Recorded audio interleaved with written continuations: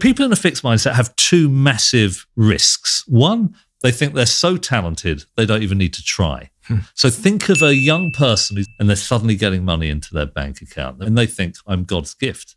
It's a fixed mindset. They think their success is assured, so they stop putting in the hard yards. The other danger is people who don't think they're God's gift, but what, like me at Goldman Sachs, you make one failure and you interpret that as meaning I obviously don't have talent. Talent is everything, and I've got it, so therefore I don't need to try. Talent is everything, I don't have it, therefore I should give up. They're both terribly uh, damaging, mm. I think.